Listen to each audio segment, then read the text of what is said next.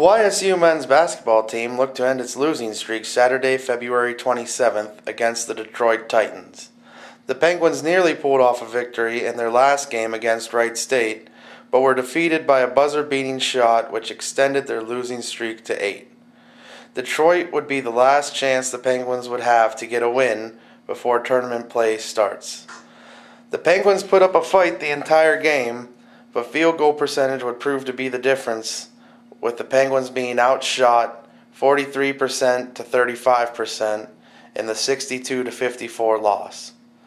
The Titans scored 31 points each half, while the Penguins scored 26 and 28, respectively. It was a disappointing loss for the Penguins, especially DeAndre Mays, who played his last home game as a Penguin tonight.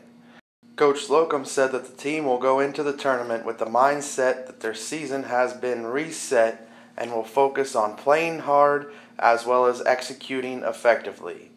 The Penguins will play their first tournament game on March 2nd. It's just the ending of uh, something special. I'm sad it had to go down like it did, but I mean, it's the ending to a new beginning. We got this tournament coming up, and we're gonna try to make a push for it in the tournament. For the Jambar, this is Nick Young reporting.